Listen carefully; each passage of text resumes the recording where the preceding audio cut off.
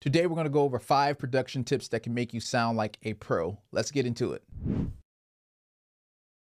Production tip number one is your production needs movement. And one of the ways that we can create movement is by creating a loop that isn't busy, but a loop that kind of sits in the background and helps the song move along.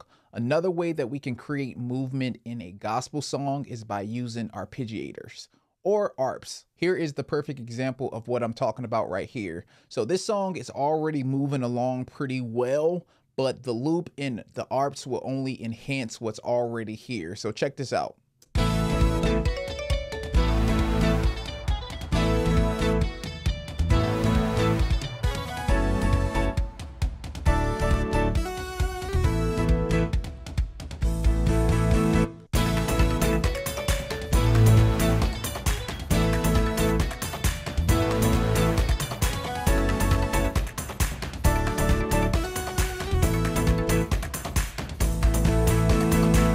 So the next time your production is feeling a little stale and you feel like it needs a little bit more excitement, consider beefing up that loop and maybe adding a arpeggiator in there to help out the production. All right, tip number two, be intentional with the song you are producing or working on. The best songs are made on purpose with intention and with a goal in mind. I believe gospel music today is great. There's a lot of amazing producers that is making gospel music Shout out to all of those guys, but I believe some of the best gospel music was made in the 90s, the early 2000s. And if you want to really learn the secret sauce and learn the what it means to make great gospel music, go back and listen to that stuff, dissect it and figure out things that you can take from those productions and put it into your productions. So tip number 2, be intentional um, have a purpose, have a goal for your arrangement, and have fun with it. That leads us straight into tip number three sound selection and textures matter.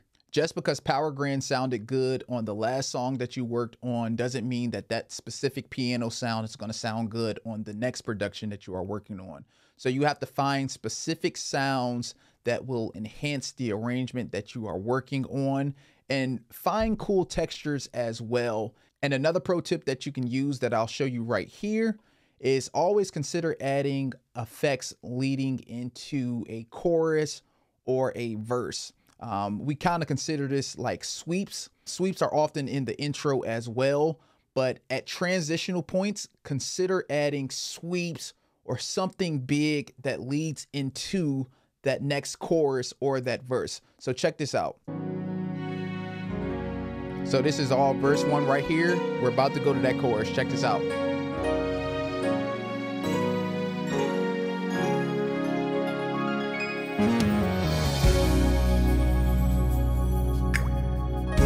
So that was very subtle, but I'll solo it so you can hear what it sounds like. So this is the transitional point that I'm talking about. And this is something that you can use.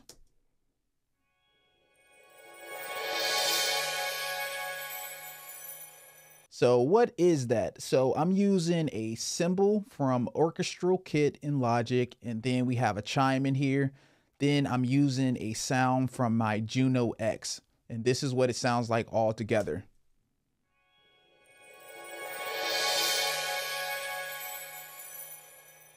So what I'm currently working on is a Logic Pro X template for producers and musicians. So when you're creating music, and you're looking for a sweep or a specific orc hit, you can just take it from the pack and put it into your production.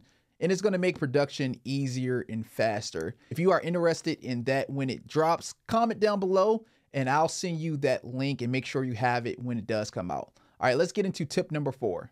Less is more. Don't over arrange or overproduce your track. This is kind of similar to tip number two that we talked about when we said be intentional with the music that you are working on. Find a way to complement the lyrics and what's being sung. Production and music should work together. The music should not be all the way up here and the lyrics are down here. And I'm talking about intensity when I say that. Everything should be working together and it should be the perfect marriage. Now, the flip side to that is there is a way to arrange and produce gospel music that is big and exciting and has, you know, a bunch of hits and stuff in there as well. But there's a specific formula to that in making that type of music. And I would say if you're just starting out and you're trying to find your way with making gospel music, you're going to want to follow tip number four.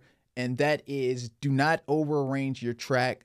Production is not about pulling out all of your favorite lines and putting it into one song. Find one or two melody lines that work for the specific song that you are working on and stick to those melody lines. Don't do too much. That leads us straight into tip number five.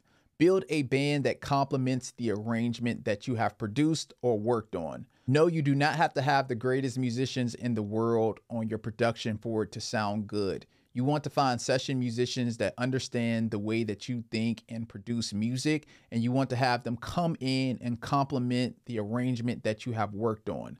This is not their time to get out, you know, their favorite chops or their favorite chords. It's not about them, it's about how can we serve this song. That is five gospel production tricks that can make you sound like a pro. Comment down below, tell me what you think. Like this video also, and consider signing up for my email list. When you sign up for my email list, you will get a free product. That free product is worship cues. You can use these worship cues in your productions.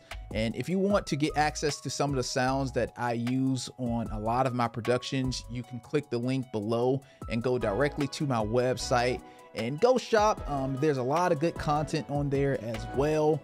Um, but thank you guys so much for watching this video. I appreciate all of you guys. We're out.